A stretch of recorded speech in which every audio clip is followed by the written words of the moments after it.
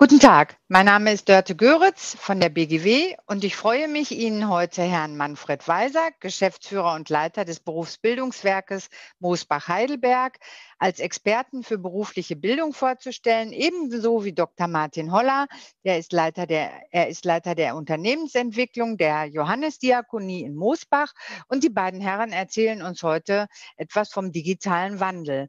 Sind wir dafür eigentlich schon bereit? Sind wir ready to go? Ja, es ist eine berechtigte Frage. Und wir hoffen, dass wir heute im Laufe des Workshops äh, diese Frage etwas beantworten können. Manfred, jetzt haben wir schon den Fakt, dass du stumm geschaltet bist. Ready to go? Jetzt müsste ich wieder hörbar sein. Ja. Gut, also. Ähm, ja, wer wir sind und was wir heute machen. Vielen Dank, Frau Göritz. Sie haben uns ja schon vorgestellt. Insofern können wir uns diese Hinweise noch auf uns äh, sparen. Und wir würden jetzt äh, zu den Themen kommen für heute. Zunächst mal, was würden wir gerne erreichen? Wir würden Ihnen, wir wollen Ihnen das Konzept Digital Readiness vorstellen.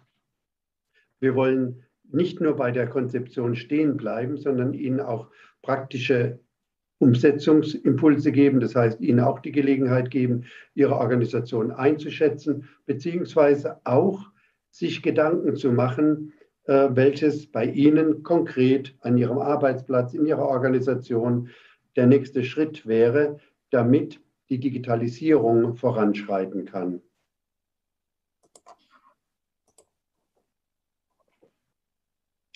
Und dazu, ähm, wir wollen uns diesem Thema nähern. Wir haben mit Frau Göritz abgesprochen, äh, dass wir ähm, eine Pause machen nach ungefähr der Hälfte.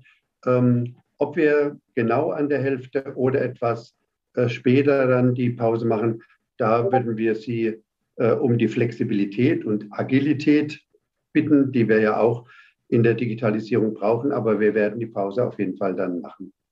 Also, was heißt eigentlich digitaler Wandel? Woran zeigt sich das?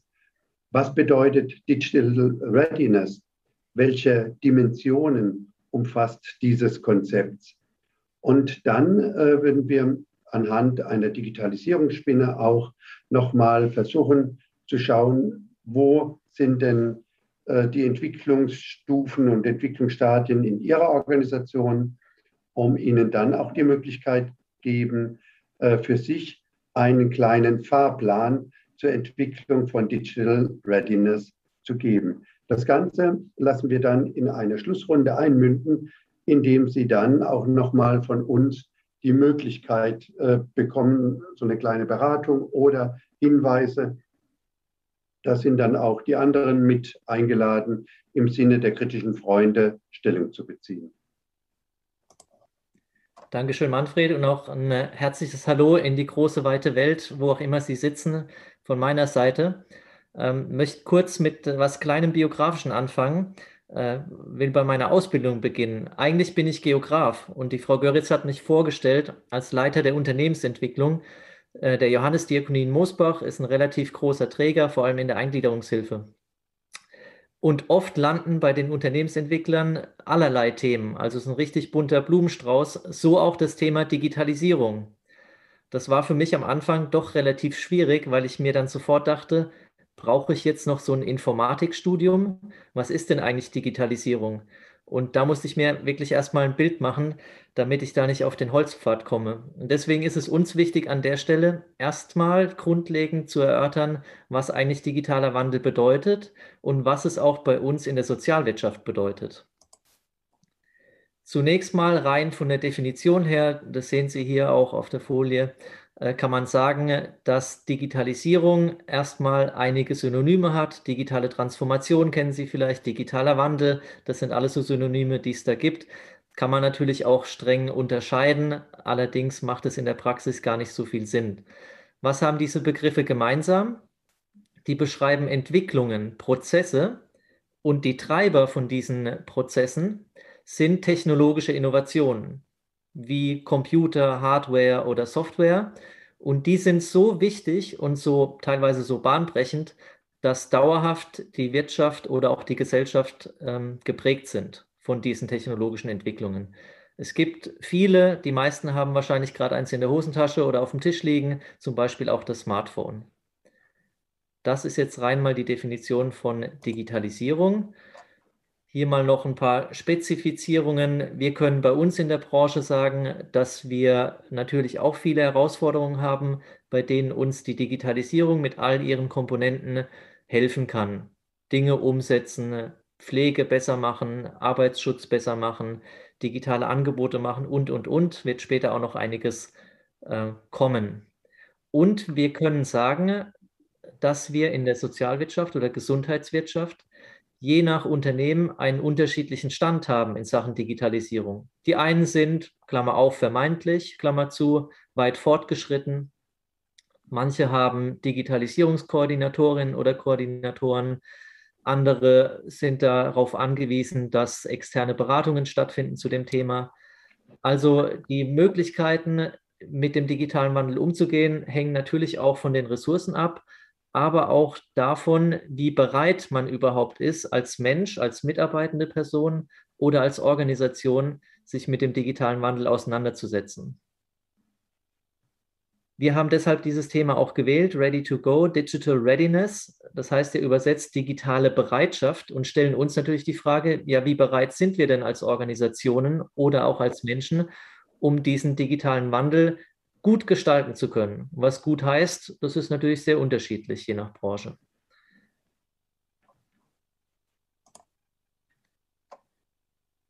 Wir können auf jeden Fall schon mal festhalten, dass Digitalisierung und unsere Branche sehr stark miteinander verknüpft sind. Und wir können auch festhalten, dass Digitalisierung, wenn man jetzt in die Geschichte reinblickt, in verschiedenen Stufen eingetreten ist und auch weiterhin in Stufen zutage treten wird.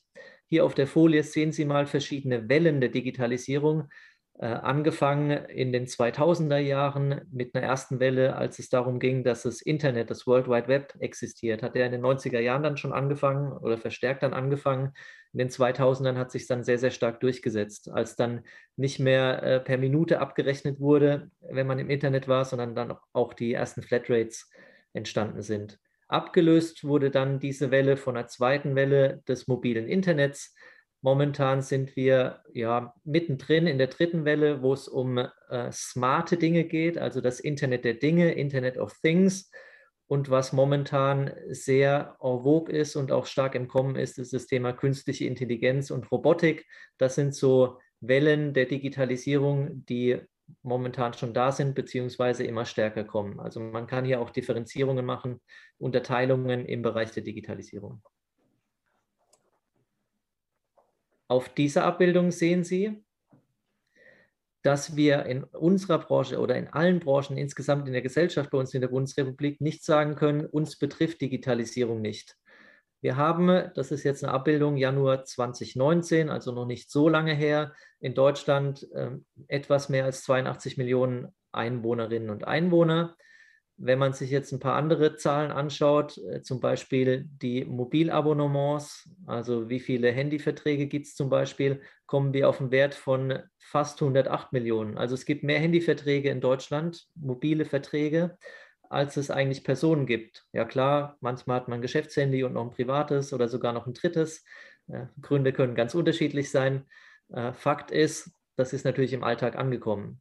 Die Internetnutzer, da liegt die Quote mittlerweile bei 96 Prozent. Es gibt ein paar Offlinerinnen und Offliner auch immer noch, manche, die das bewusst tun, manche, denen es einfach an digitalen Skills fehlt oder an digitaler Teilhabe fehlt. Ähm, wir können aber sagen, dass das eigentlich eine äh, ja, aussterbende Personen sind. Äh, gerade wenn man die jüngeren Generationen sieht, man merkt, dass ohne Internet, ohne digitale Technologien das Leben gar nicht mehr so richtig funktionieren kann. Auch die Social-Media-Nutzung ist deutlich gestiegen. Da ist der Wert mittlerweile über 50 Prozent der Bevölkerung. Und die Personen, die das dann nicht am Desktop-PC machen, sondern online, äh, sondern in, mit mobilen Geräten, der Anteil steigt natürlich auch. Das sind alles so Trends, die es da momentan gibt, beziehungsweise die eigentlich fast schon am Ende sind, äh, weil sie schon wieder abgelöst werden durch andere Trends. Heißt für uns, Digitalisierung ist für uns gesellschaftlich in Deutschland ein wahnsinnig wichtiges Thema, wirtschaftlich genauso und wir kommen auch in unserer Branche nicht daran vorbei. So, Manfred, bitte. Ja, vielen Dank.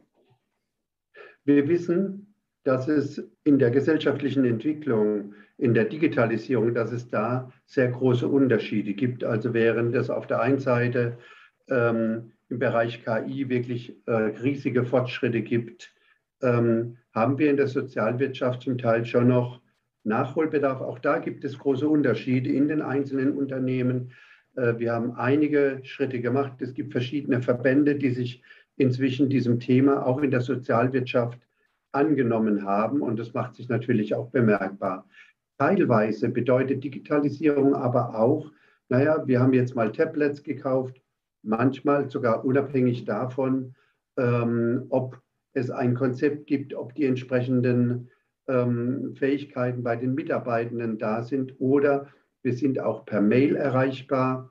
Ja, das ist, äh, wenn man überlegt, das ist jetzt eine Entwicklung, die ja schon über 20 Jahre, 30 Jahre zurückgeht, dass es die ähm, die E-Mails gibt und äh, dass äh, immer noch diskutiert wird in den Unternehmen, übrigens auch bei uns immer wieder, wie verläuft Kommunikation, brauchen wir Mails oder Intranet oder haben wir Plattform oder wie soll diese Kommunikation gestaltet werden. Da sieht man schon sehr, sehr große ähm, Entwicklungsunterschiede.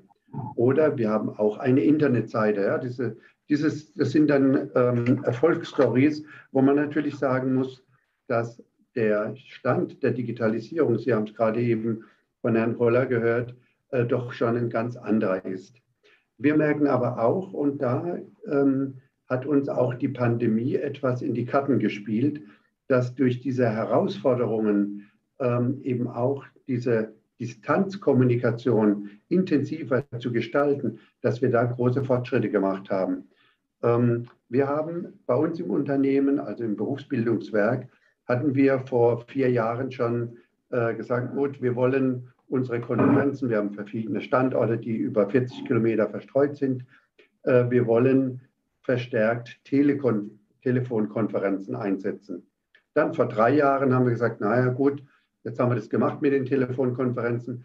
Wir wollen äh, und haben dann auch eine bestimmte Anzahl genannt, wir wollen Videokonferenzen einsetzen. Inzwischen wird es nicht mehr auf, in unserer Strategie auftauchen. Es ist selbstverständlich geworden, dass wir, so wie jetzt Zoom oder andere ähm, Kommunikationsmedien, Konferenzen einsetzen. Und da da holpert es immer wieder, man stolpert auch immer wieder mal. Aber im Grunde ist es jetzt gesetzt und zwar quer durch, die, äh, durch alle Mitarbeitenden hindurch.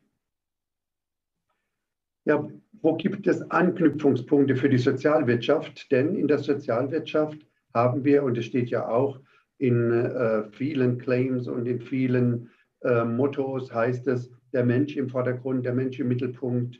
Ähm, das heißt, unser Anspruch ist es ja, dass wir mit und für Menschen arbeiten.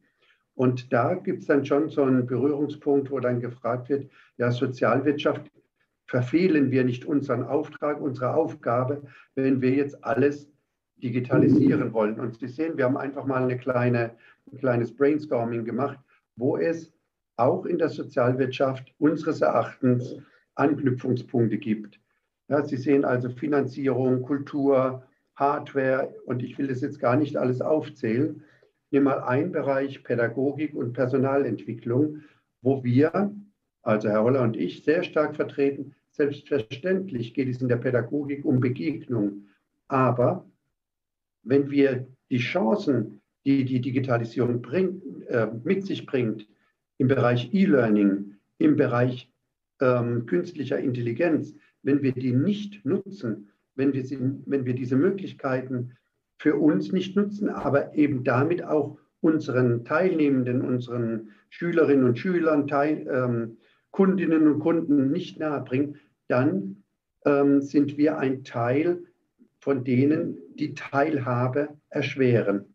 Ja, und insofern sagen wir also auch, Pädagogik nicht nur in der Pandemie muss auch diese Anknüpfungspunkte zur Digitalisierung suchen, sei es jetzt auch durch den Einsatz von äh, virtuellen Klassenräumen oder durch äh, andere Möglichkeiten, die dadurch gegeben sind. Und auch in der Personalentwicklung ähm, gibt es inzwischen viele Möglichkeiten, zumindest bestimmte Aspekte, sicher nicht alle, aber bestimmte Aspekte über die Digitalisierung auch im Sinne der Mitarbeitenden abzubilden. Zum Beispiel, wenn wir äh, in der Johannesdiakonie haben wir ein ähm, Tool eingeführt, in dem bestimmte Fortbildungen zugewiesen werden können, Pflichtfortbildungen. Und der Mitarbeitende kann das dann für sich selbst entscheiden, wann er diese Fortbildung macht, ist also deutlich flexibler und hat dadurch auch mehr ähm, Gestaltungsmöglichkeiten. Und so könnten wir jetzt diese verschiedenen Aspekte einzeln durchgehen. Das wollen wir aber nicht machen, sondern wir wollen jetzt zunächst mal im Sinne einer Balance Scorecard eben diese verschiedenen Aspekte, die in der Steuerung eines Unternehmens wichtig sind, nochmal uns angucken. Also, wenn wir, und das, auch das ist ja ein Qualitätsmerkmal der, äh, unserer sozialwirtschaftlichen Unternehmen, wenn wir nicht nur auf die Rendite und auf den Erlös und auf den Gewinn schauen, sondern sagen, wir wollen eine ausbalancierte Strategie haben, in der die Kundensicht, die Mitarbeitendensicht, der Blick auf die Prozesse, aber natürlich auch auf die Finanzierung ein ausgewogenes Bild ergeben, dann könnten wir jetzt gemeinsam überlegen, wo denn da die entsprechenden Möglichkeiten sind. Und unsere Frage wäre, ähm, wo in Ihrer Organisation denn die Schwerpunkte der Digitalisierung liegen. Haben Sie bestimmte Schwerpunkte? Ähm, wo sind bei Ihnen Baustellen, wo Sie sagen, ja, das ist für uns im Augenblick der Punkt, wo wir am intensivsten dran arbeiten oder vielleicht auch in verschiedenen Schwerpunkten?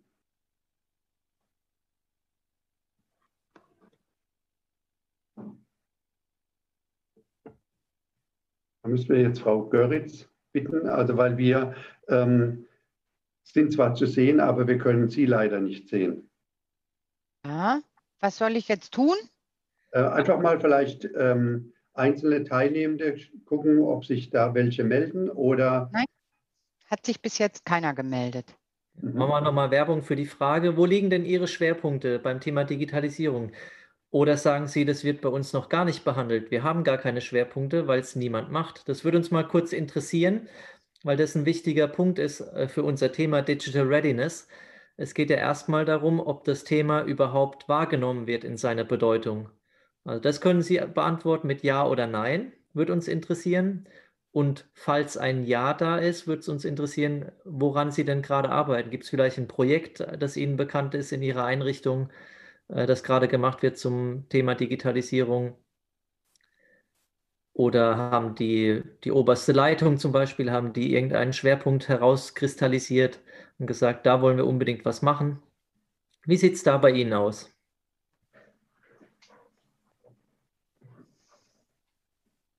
Also ich bekomme hier gerade eine ähm, Antwort rein, das Dokumentenmanagement.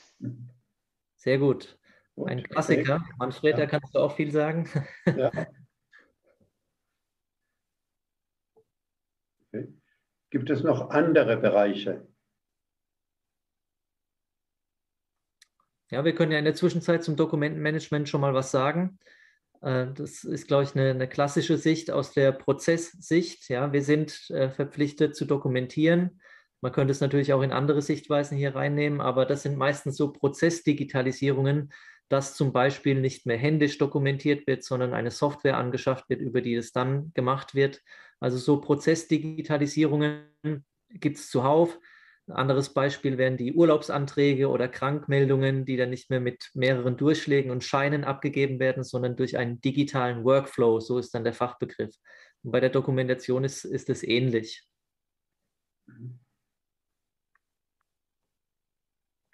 Gibt es noch weitere Meldungen?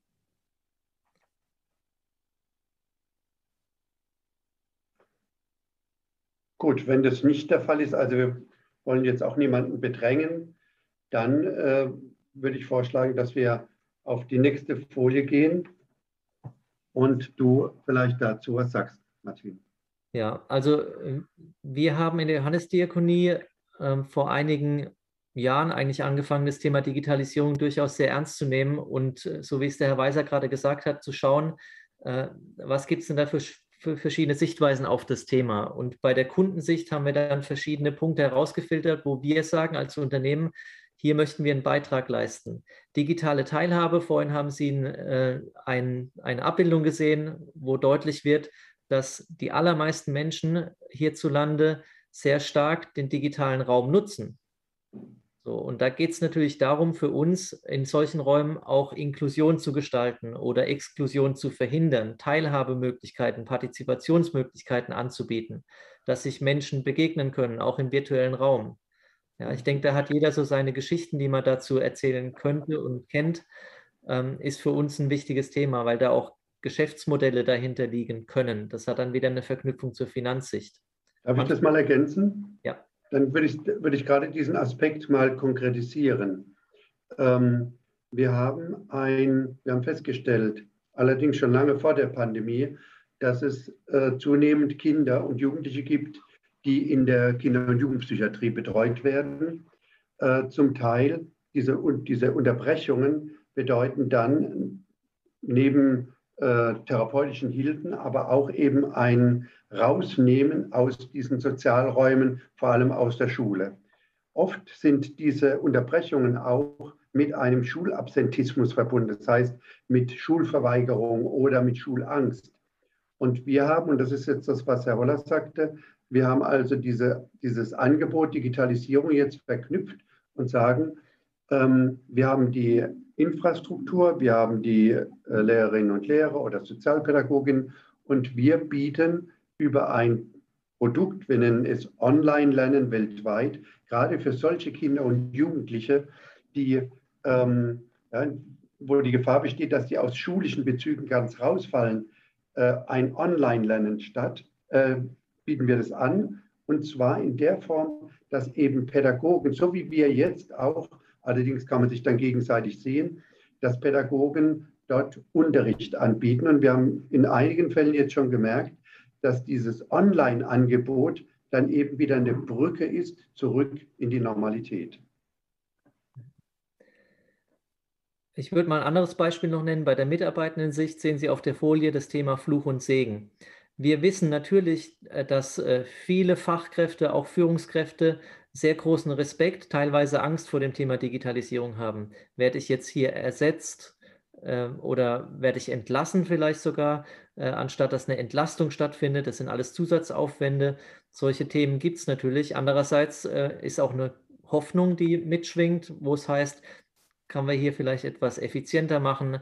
Kann ich auch mal von zu Hause was arbeiten, eine Dokumentation schreiben? Bleiben wir mal bei Ihrem Beispiel. Also da sind Hoffnungen mit verbunden und auch Ängste. Und sich das klar zu machen, dass natürlich auch eine Mitarbeitendensicht bei einem Thema wie Digitalisierung eine Rolle spielt, ist, glaube ich, eine sehr wichtige Vorgehensweise. Da kann man auch mit Empathie und anderweitigen sozial-emotionalen Kompetenzen sicherlich einiges machen. Man muss das Thema aber überhaupt erstmal wahrnehmen. Zur Prozesssicht haben wir einiges gesagt. Natürlich gibt es auch noch eine Finanzsicht.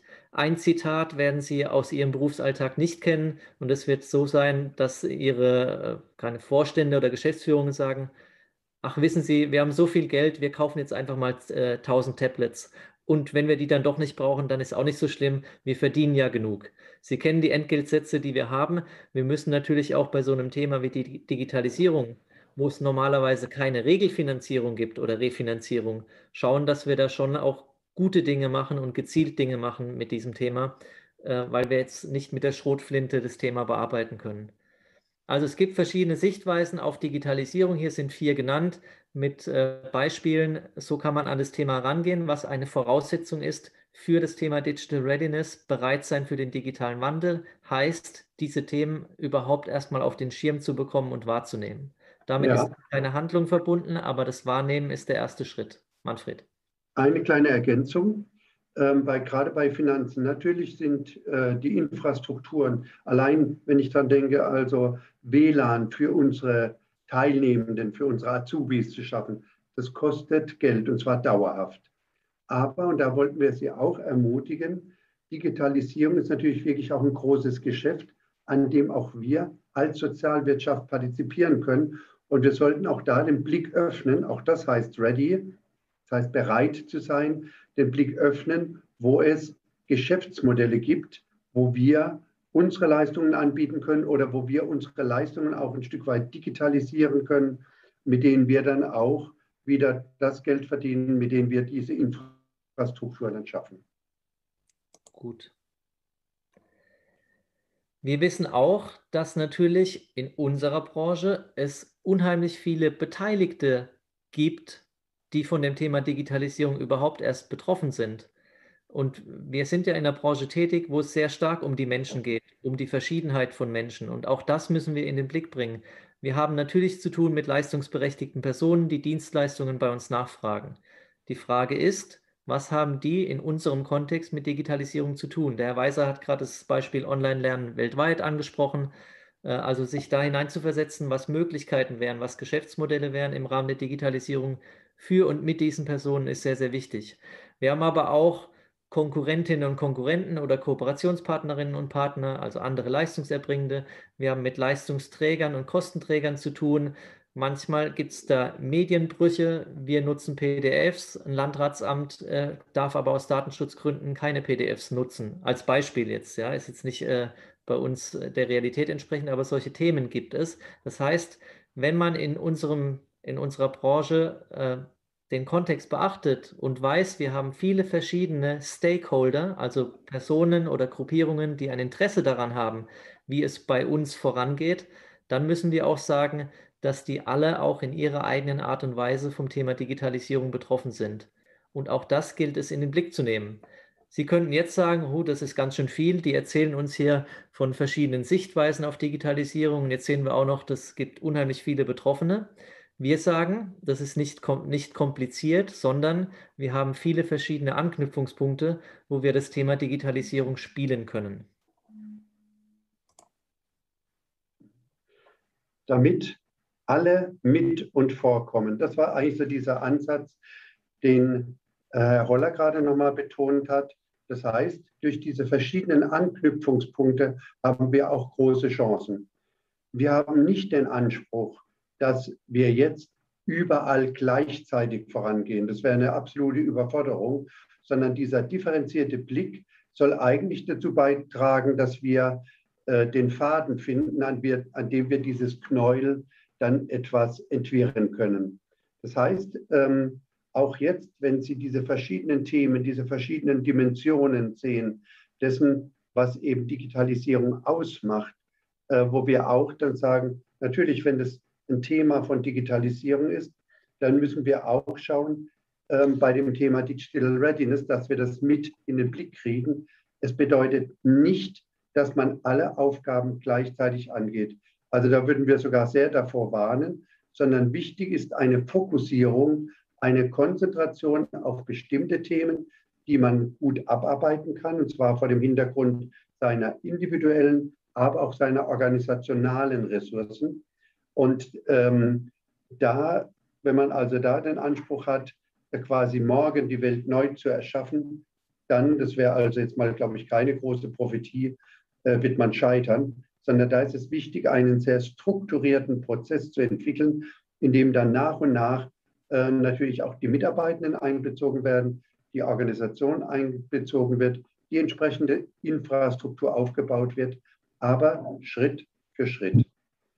Und insofern, also sagen wir, der Blick, diese Fokussierung kann durch dieses Konzept des Digital Readiness erfolgen, das Ihnen jetzt zunächst, äh, wo wir so ein paar ähm, Sätze oder ein paar Hinweise dazu geben wollen. Genau, also wir sagen, damit alle mit und vorkommen bei dem Thema Digitalisierung, braucht es eine gut ausgeprägte Digital Readiness in einer Organisation und bei den Menschen, die bei dieser Organisation arbeiten. Wie bereit sind die also für den digitalen Wandel? Das ist die Grundaussage der Digital Readiness.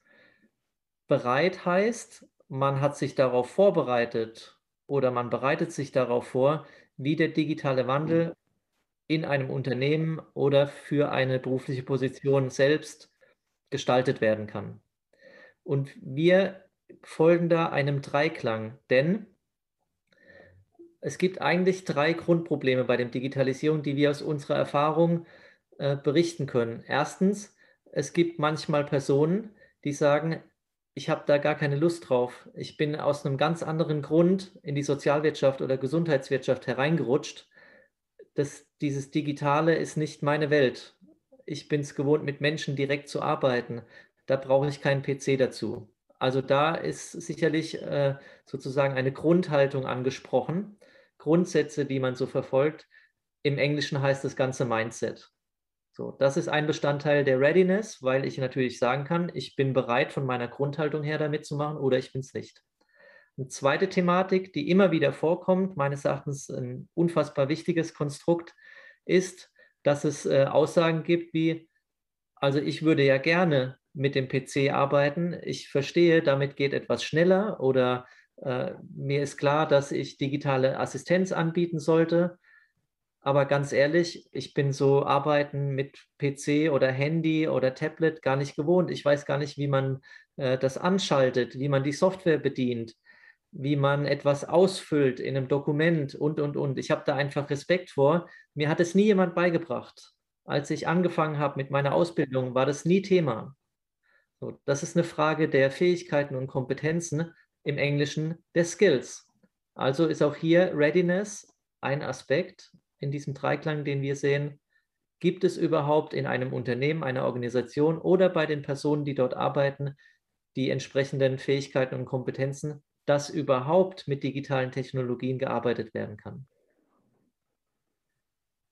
Die dritte Frage, sagen wir mal, es gibt Personen, die sagen, ich möchte gerne mit digitalen Technologien arbeiten und ich kann es auch. Ich bin gerade gewechselt von einem anderen Träger hierher. Aber ganz ehrlich, ihr habt diese ganzen Tools ja gar nicht. Hier gibt es ja gar keine Software, mit der man äh, digital dokumentieren kann, um bei Ihrem Beispiel zu bleiben. Das ist eine Frage des sogenannten Toolsets, auch wieder aus dem Englischen, beziehungsweise der Werkzeuge und Instrumente, die einem zur Verfügung stehen oder einer Person zur Verfügung stehen, ähm, um den digitalen Wandel überhaupt zu begleiten. Also Hardware und Software. Ja, das sind also digitale Tools oder Apps. Äh, das ist natürlich was, was wir heutzutage sehr stark kennen, auch aus dem privaten Bereich. Das muss natürlich auch vorhanden sein. Und wenn ich ein ausgeprägtes Mindset habe, Skillset und Toolset, dann ist die Wahrscheinlichkeit natürlich sehr hoch, dass ich bereit bin für den digitalen Wandel und ihn sehr positiv gestalten kann.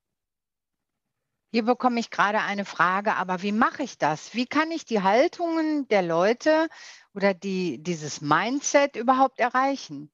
Das, das ist, eine gute, ist eine sehr gute Frage. Da will ich vielleicht mal aus Leitungssicht ein kleines Beispiel geben.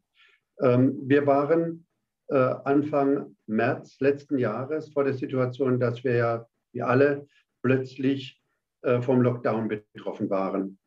Äh, wir haben jetzt denke ich mal sehr konkret an unsere Mitarbeiterinnen in der Cafeteria, die auch Auszubildende haben, sehr engagierte Frauen, aber ähm, was jetzt dieses Skillset angeht, ähm, konnten sie also keine ähm, äh, Videokonferenzen einrichten oder das, was wir auch dann, was wir auch nach und nach entwickelt haben und zur Verfügung gestellt haben, konnten sie nicht nutzen. Sie haben trotzdem Kontakt gehalten, zu ihren äh, Auszubildenden, haben telefoniert, haben super Ideen entwickelt, wie man auch im Home Learning ähm, diese hauswirtschaftlichen Fähigkeiten entwickeln kann.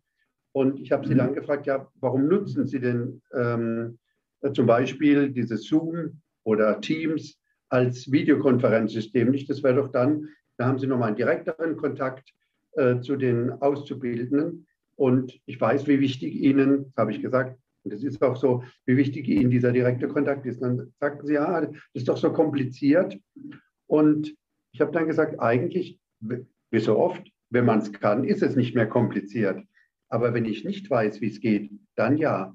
Und wir haben dann innerhalb äh, der Mitarbeiterschaft, also wir haben auch eine IT-Ausbildung und der IT-Ausbilder hat sich dann mal eine halbe Stunde Zeit genommen, um mit den Frauen, sind äh, vier Frauen, die da tätig sind, mit den Frauen dieses äh, ganz konkret einfach mal zu sagen, so, was brauche ich, was muss ich machen, um so eine ähm, Video, so eine Videokonferenzeinladung zu organisieren, was muss ich machen, um überhaupt den Link zu generieren. Und dann haben die sich, also es war eine halbe Stunde Zeit Und dann habe ich gesehen, dass die diese Tools eingesetzt haben. Das heißt, meines Erachtens bei den Mitarbeitenden, äh, die würde ich jetzt auch sagen, das ist so, wie Herr Holler sagt, die wollen ihre Tätigkeit machen, weil sie gerne mit Auszubildenden arbeiten. Und dahinter steckt aber dieser Wunsch, eben auch den Weg in den Arbeitsmarkt zu ebnen. Und deswegen sind die auch bereit, mit Unterstützung sich diese Fähigkeiten anzueignen.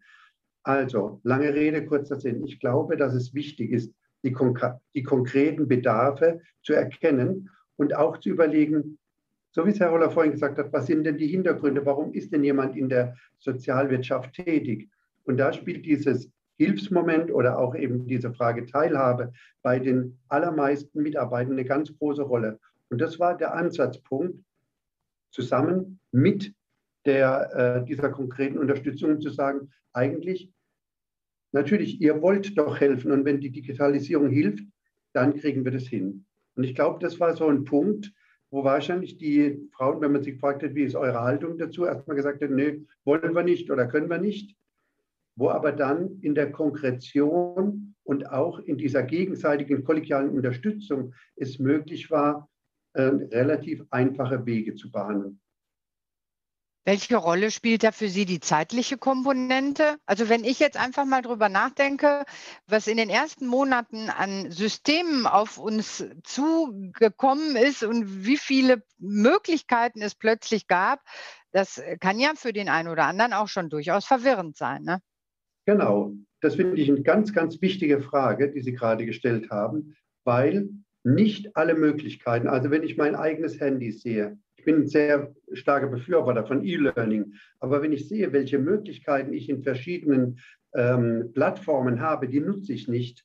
Auch da gilt es zu fokussieren. Wir sollten nicht den Anspruch haben, äh, IT-Experten zu werden, sondern wir nutzen die Tools und da gehört dann auch meines Erachtens Führungsverantwortung dazu, dass man nicht sagt, ja, hier habt ihr jetzt äh, 20 Möglichkeiten, arbeitet euch da ein und dann ähm, werdet zu Experten, sondern auf diese konkreten Arbeitsnotwendigkeiten hin. Da müssen die Tools und die entsprechenden Funktionen ausgewählt werden und dann ist es auch zeitlich überschaubar. Wenn ich den Anspruch habe, so eine, so eine App umfassend zu beherrschen, dann bin ich überfordert. Dann spielt es wahrscheinlich auch eine Rolle, wie wichtig sind da intuitive Systeme? Absolut, ja. Das ist natürlich dann ähm, ja, das wäre der Königsweg, den wir aber nicht immer haben. Und deswegen ist es manchmal eben auch so eine Frage, meines Erachtens auch von Leitung, von Führung, zu sagen, also ich erwarte nicht, dass ihr euch jetzt in Moodle oder in Ilias, also entsprechende Lernplattformen, umfassend einarbeitet, sondern sagt mir, was ihr braucht und ich überlege mit, mit Experten, wie wir euch das vermitteln können. Und das ist dann, das heißt aber auch gleichzeitig, dass äh, diese dass dieser partizipative Ansatz, der auch, dass der eben auch in der Digitalisierung ein ganz, ganz wichtiger Ansatzpunkt ist. Kann ich nur bestätigen. Also diese Grund, Grundangst, die teilweise vorherrscht, ist, muss ich da was programmieren können, damit ich das überhaupt schaffe. Und genau das ist es nicht. Das ist nicht die Digitalisierung, die wir vorantreiben wollen in der Sozialwirtschaft. Wir wollen in die Anwendung kommen. Und in die Anwendung kommen wir, weil wir bestimmte Inhalte definieren, wo wir sagen, da kann uns Digitalisierung helfen. Das programmieren dann andere. Und ich bin darauf angewiesen, vielleicht auch als Führungskraft, ein System zu finden, das intuitiv ist, das benutzerfreundlich ist, damit das auch gut in die Anwendung kommt. Was haben wir alle wahrscheinlich? Programme bei uns in den Einrichtungen, die fast keiner mehr benutzt weil die einfach nicht benutzerfreundlich sind. Ja, und mhm. das ist schade, vor allem, weil es uns, also, weil äh, das auch viel Geld kostet, das wahrscheinlich woanders besser aufgehoben wäre. Und dann heißt vielleicht lieber äh, vier helfende Hände mehr als jetzt ein Computerprogramm. Gut, vielleicht noch eine konkrete Anmerkung zu der Frage, wie schaffe ich dieses Mindset? Äh, ich will da mal von einem Fehler äh, berichten, den ich da gemacht habe. Ich habe zwei Mitarbeitende gehabt, äh, da war auch das Mindset erstmal ich sag mal, defensiv, jetzt nicht nur ablehnend, äh, nicht unbedingt ablehnend, aber zumindest mal defensiv. Und da haben wir ein kleines Rollenspiel gemacht. Ähm, also zweimal waren eine Person und ich und dann nochmal eine äh, andere Mitarbeitende und ich. Und einmal hat es gut geklappt und einmal nicht so gut. Äh, ich habe dann gesagt, überzeugen Sie mich mal, dass ich mit digitalen Technologien arbeiten muss. Also sozusagen die Rolle ausgetauscht dass ich nicht als Führungskraft die andere Person überzeuge, sondern umgekehrt. Und einmal hat es ganz toll gewirkt äh, bei einer Person, die dann realisiert hat, ja, stimmt, okay, wenn ich mich schon in diese Rolle zwangsweise reinversetzen muss, dann denke ich auch anders darüber nach und dann kam so langsam das Verständnis. Und bei der anderen Person ist es total in die Hose gegangen. Äh, was ich damit sagen will, da gibt es keinen kein Weg der Garantie, dass man so eine Veränderung perfekt steuert und den Königsweg hat. Aber es gibt verschiedene ähm, ja, Moderationsprozesse, Führungsprozesse und so weiter, die man anwenden kann, um hier äh, Ideen einzupflanzen, naja, und vorzunehmen. Hm. Ohne dass es jetzt eine Garantie ist für, für einen Erfolg, aber äh, das Wichtige ist, dass man als Führungskraft hier aktiv bleibt und auch meines Erachtens durchaus was einfordert. Ich fordere von meinen Mitarbeitenden eben nicht ein, dass die alles programmieren müssen und so weiter, aber dass jeder mit Outlook zurechtkommt das fordere ich ein. Das gehört für mich auch zum Mindset dazu, dass da eine Bereitschaft dafür da ist und eine Grundhaltung, dass es förderlich ist für den Arbeitsalltag. Und das macht man, also es ist auch für uns überhaupt kein Thema, das versteht auch jeder. So global, so ein global Mindset, dass eine Grundvoraussetzung geschaffen ist. Manfred, Entschuldigung. Nö, alles. Äh, ich glaube, dass es, wenn wir in der Sozialwirtschaft, in der Gesundheitsbranche arbeiten ähm, und wenn wir diesen Aspekt der Teilhabe, wenn der für uns zentral ist, und das ist es ja, äh, dann haben, muss auch diese Offenheit da sein, selber weiterzulernen. Ja, das ist also, Sie sehen ja auch, dass Herr Holler und ich sind jetzt auch nicht, äh, gehören auch nicht der gleichen Generation an, aber ich glaube so, diese Frage Offenheit ähm, im Lernen, das ist ähm, bei beiden, bei uns beiden da, auch wenn ich mich häufiger mal an Herrn Holler wenden muss, äh, wenn es dann um konkrete technologische Fragen geht. Ja, ist ja keine Einbahnstraße. geht mir genauso. Gut. Ja, und, Mindset, Manfred? Ja, ich glaube, das hat, sich, das hat sich auch durch diese Fragen und durch die Diskussion schon ergeben. Also Mindset, ähm, natürlich ist es auch eine Führungsaufgabe, Frage Anforderungen, aber es ist auch eine, eine äh, Aufgabe für jeden Einzelnen. Ähm, wir können nicht Haltungen mechanisch verändern, sondern wir können einladen, wir können Anknüpfungspunkte finden. Und ich glaube, dass es dann auch eine, eine vernünftige Entwicklung in den Einrichtungen gibt. Ja, und ansonsten äh, war das, glaube ich, selbst erläuternd. Ähm, auch hier nur eine kurze Bemerkung. Es gibt, um Digital Readiness festzustellen, gibt es unterschiedliche Ansatzpunkte und Instrumente. Es gibt von verschiedenen Beratungsfirmen unterschiedliche Möglichkeiten, auch diese äh, Bereitschaft beziehungsweise auch den, den Reifegrad der Entwicklung einer Organisation im Hinblick auf Digitalisierung zu prüfen und festzustellen. Und wir äh, würden Ihnen nachher nochmal einen vorstellen, äh, wo wir eben sagen, damit kann man vielleicht auch sehr äh, einfach und sehr schnell ähm, mal so eine Grobeinschätzung vornehmen. Der Hinweis hier noch als Ergänzung, es gibt unheimlich viele Beratungsfirmen, die sagen, wir kommen zu Ihnen und stellen Ihren digitalen Reifegrad fest und lassen sich das natürlich auch entsprechend bezahlen. Das sind aber allerdings nur Annäherungswerte. Also man muss wirklich schauen, woran wollen wir das festmachen, damit wir bereit sind. Und da gibt es eben verschiedene Möglichkeiten. Also seien Sie vorsichtig da, das ist sinnvoll. Also ich finde es sehr sinnvoll, sich da Faktoren zu überlegen, aber man braucht nicht unbedingt da externe Beratungen.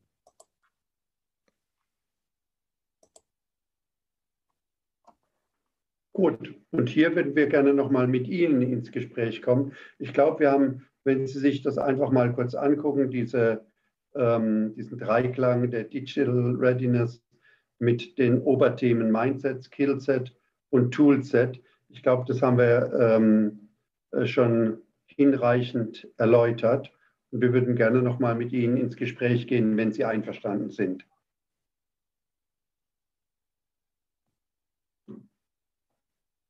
Eben war ja schon die Frage, wie kann man denn Haltungen verändern? Ich glaube, das ist nicht, das ist eine ganz wichtige Frage, nicht nur im Hinblick auf Digitalisierungen. Und wir, und wir würden gerne, auch da sind Sie wieder eingeladen, vielleicht im Chat oder ähm, sich kurz zu äußern, ähm, welche Haltungen denn aus Ihrer Sicht entscheidend sind, um diese Bereitschaft für die Digitalisierung, für den digitalen Wandel, um die zu befördern.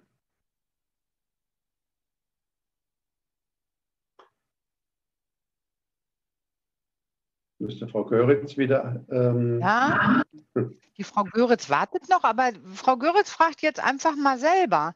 Also ich denke, wenn man so ein Unternehmen hat, dann gibt es ja also so ungefähr so viele Haltungen, wie es auch Mitarbeiter gibt, könnte ich mir vorstellen. Deswegen, ähm, ich weiß nicht, ob man, also kann man das tatsächlich so sagen? Ist man bereit für den digitalen Wandel? Weil jeder versteht ja auch darunter was anderes. Also der eine sagt, oh, ich kriege eine PDF, um Himmels Willen, jetzt wird es digital. Und der nächste sagt, oh, Big Blue Button, Teams, äh, Zoom, äh, WebEx ist alles kein Problem für mich, mache ich alles mit Links. Also ich sage mal, man muss ja auch die Leute tatsächlich an der richtigen Stelle abholen. Oder verstehe ich Sie da falsch? Nein, das ist absolut richtig. Ähm, die Frage ist insofern also, natürlich gibt es sehr, sehr unterschiedliche Haltungen, es gibt sehr unterschiedliche Kompetenzen in dem Bereich. Ähm, ich glaube, also ich bleibe nochmal bei dem Beispiel, wenn Sie einverstanden sind, mit den äh, Hauswirtschaftsausbilderinnen. Das sind sicher keine IT-Leute. Und wenn man die fragen würde, was wollt, äh, wie steht ihr denn zur Digitalisierung, hätten sie wahrscheinlich eher ein bisschen, das Gesicht verzogen ähm, weil es nicht so ihr Hauptding ist. Aber unter dem Aspekt, ähm, wir wollen für unsere Auszubildende, wollen wir die bestmögliche Ausbildung. Wir wollen weiterhin im Kontakt bleiben. Wir wollen ähm, nicht, dass die jetzt, nur weil wir es nicht können, dass die Nachteile haben. Das sind ja Haltungen, die das eigene Professionsverständnis berühren und wo die dann sagen, na gut, also dann, wenn das so, wenn wir mit diesen digitalisierten oder mit der Möglichkeit, äh, die uns jetzt die Digitalisierung bereitstellen, wenn wir damit unser Grundanliegen verbessern können, dann sind wir auch bereit, uns da schulen zu lassen. Vor allem, wenn wir dann noch auch die Unterstützung kriegen. Das heißt, ich glaube schon, dass wir diese Frage der Haltungen auch etwas mit dem professionellen Selbstverständnis und Grundverständnis zu tun haben. Ja. Darüber hinaus, ähm, es gibt ja verschiedene Instrumente in Organisationen, wo solche Haltungen beschrieben sind. Sie kennen wahrscheinlich alle, weil Sie selber haben, sowas wie ein Unternehmensleitbild. Ja, wenn viele von Ihnen haben oder eine Unternehmenspolitik, eine Unternehmensphilosophie, eine Vision, eine Mission, solche Begriffe haben wir und auch dort werden äh, Grundhaltungen, Prinzipien festgelegt als ein Korridor, wie man sein sollte oder möchte, unabhängig davon, dass das Zustände sind, die man nie immer perfekt erreicht. Aber es ja. ist eine gemeinsame Ausrichtung. Und genau das kann man nicht nur für ein Gesamtunternehmen gestalten, sondern es gibt auch Instrumente wie digitale Visionen, digitale Leitbilder. Für uns ist das ja eine sehr wichtige Frage. Wir können ja sehr viel digitalisieren. Das kennen Sie aus den Medien, was nicht alles digital möglich ist. Aber wir wollen sicherlich nicht alles digitalisieren. So, und da, äh, das ist so ein, ein, Feld, in dem sieht man schon relativ gut, was an Mindset auch wichtig ist für das Thema Digitalisierung. Darüber hinaus sind es natürlich so Klassiker, das ist ja das, was wir einfordern. Natürlich muss jetzt nicht jeder äh, Informatiker werden oder Informatikerin, aber wir erwarten, dass wenn wir eine Software einführen, wir besprechen vorher, was die verbessern soll. Im besten Fall kommt der Impuls auch aus der Mitarbeiterschaft, dass da erstmal eine Offenheit gegenüber des Systems da ist, um zu sagen, ich probiere es jetzt erstmal aus, bevor ich gleich meckere. Ja, also so Offenheit, Mut, das sind so die Klassiker, die man beim Mindset da durchaus auch einfordern kann und einfordern sollte. Innovationsbereitschaft, das, was der Weise auch ein Stück weit meint. Verbesserung für das Eigentliche. Diese Themen, aber, die sind schon, schon relevant. Aber ich glaube, wichtig ist dann auch eine gute Fehlerkultur. Also ich glaube, oh. wichtig ist dann auch, dass man, dass man dem Mitarbeiter die Möglichkeit gibt, auch mal Fehler zu machen. Weil ich glaube, das ist bei vielen Leuten, vielleicht auch gerade in meiner Generation, aber die Angst, dass, dass man Fehler macht. Und ähm, dass man dann als schnell möglicherweise als inkompetent wahrgenommen wird, obwohl man einfach vielleicht mit manchen Dingen ja, dass es einfach länger dauert, bis man das, bis man das so verstanden hat, was eigentlich der Computer da von einem will. So will ich es mal sagen. Also Frau das Köritz. glaube ich ist sehr wichtig. Ja. Äh, Frau Köritz, ähm, es ist ja gut, wenn wir jetzt auf Distanz sind, weil jetzt würde ich Ihnen einfach mal so einen Handkuss zuschmeißen. ähm, weil ich finde, das ein. Ähm, Martin, würdest du mal bitte weitergehen auf den Folien? Gerade das, was Sie eben gesagt haben, das haben wir auch, sehen wir hundertprozentig genauso. Äh, und das ist auch eine Frage, vielleicht äh, vorhin kam ja aus dem, äh, aus dem Publikum die Frage, wie kann man Haltungen verändern? Wir brauchen eine Kultur, eine Betriebskultur, wo eben Fehler dazugehören. Also wir wollen keine Fehler machen, aber wenn es passiert, dann passiert es. Ja? Und ähm, jetzt sind wir eine diakonische Einrichtung und ich sage oft, ähm, dadurch haben wir es vielleicht auch ein bisschen einfacher, weil bei uns ist keiner unfehlbar. Und ähm, jeder macht Fehler und die Frage ist, wie man damit umgeht. Also es braucht eine gute Fehlerkultur, eine Offenheit und nicht, wenn ich dann einen Fehler mache, dass ich dann irgendwie blamiert werde, dass ich runtergemacht werde, sondern das ist ein Anstoß zum Weiterlernen. Und ich glaube, insofern sind eben auch diese, ähm, diese Fragestellungen der Haltungsentwicklung, das ist natürlich eine Frage, wie gehe ich mit mir um, inwiefern bin ich bereit, meine Haltungen zu ändern, weiterzuentwickeln, aber es ist auch eine Frage der Betriebskultur und der Betriebsumgebung. Also insofern äh, haben Sie mir voll aus dem Herzen gesprochen. Das freut mich. Persönliches Beispiel, als ich angefangen habe vor fünf Jahren und meine Stelle angetreten habe, bei der Johannes Diakonie, wollte ich auch direkt meine Intranet-Seite der Unternehmensentwicklung aktualisieren. So, also hat, dachte auch, das kann ich selber. Habe also beim Mindset das Thema Mut, glaube ich, ganz gut ausgeprägt. Allerdings äh, war ein bisschen Hybris dabei. Ich hatte nämlich nicht die Skills, genau mit dem Programm meine Internetseite zu verändern und habe die ganz schön verhunzt. So, und dann musste ich natürlich auch zu der Person gehen, die das insgesamt koordiniert, unser Intranet. Äh, und habe dann auch gesagt, ja, sorry, also irgendwie habe ich es dann verhunzt und sogar abgespeichert. Also es sieht halt nicht mehr so aus, wie es eigentlich aussehen soll. Ganz im Gegenteil. Und da war auch, macht überhaupt nichts, überhaupt kein Problem, ist schwierig. Also höchstes Verständnis für diesen Fehler. Und das hat mit mir natürlich auch was gemacht. Ich darf den Fehler machen, da gab es jetzt keinen Ärger. Ähm, man konnte es relativ schnell korrigieren. Und dann war das okay. Das ist für mich ein förderliches Mindset, wo ich auch sage, da kann ich auch mit solchen Entwicklungen natürlich ein Stück weit mitgehen, äh, weil von mir nicht Wunderdinge erwartet werden. Und wenn mal was passiert, ist es auch okay. Ich, schlage vor, Martin, dass wir zu dieser Fazit, zu der Fazitfolie kommen. Ja. Ups. Und danach, wenn du noch zwei, drei Sätze dazu sagst. Ja, gerne. Also für uns das Fazit, das wäre jetzt auch das Ende unseres Infoteils oder Vortragteils. Ähm, wir können festhalten, Digitalisierung ist ein Megathema, gesamtgesellschaftlich, wirtschaftlich, auch in der Sozialwirtschaft, auf verschiedene Arten und Weisen. Wir können es mit verschiedenen Brillen anschauen. Wir haben auch verschiedene Handlungsmöglichkeiten, mit dem Thema umzugehen. Digital Readiness ist eins davon. Bereitschaft für den digitalen Wandel zeigen. Und das herzustellen geht auch wieder auf verschiedene Arten. Wir können am Mindset arbeiten, am Skillset, am Toolset. Am Ende muss es aber stimmig sein und insgesamt zusammenpassen, weil wenn eines fehlt, wird es nicht funktionieren.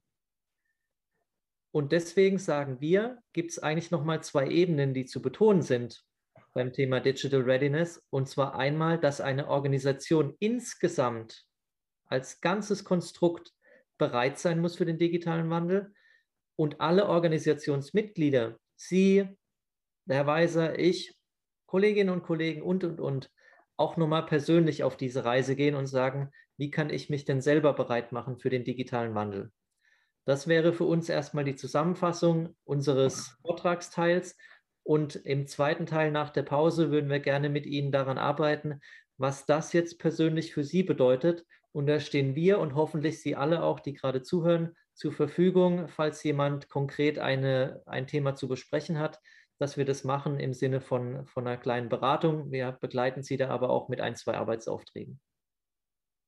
Ja, da danke ich erstmal, wünsche uns allen eine schöne zehnminütige Pause. Wir sehen uns dann wieder um 15.10 Uhr und ich bin gespannt, was Sie uns dann noch zu erzählen haben. Danke sehr.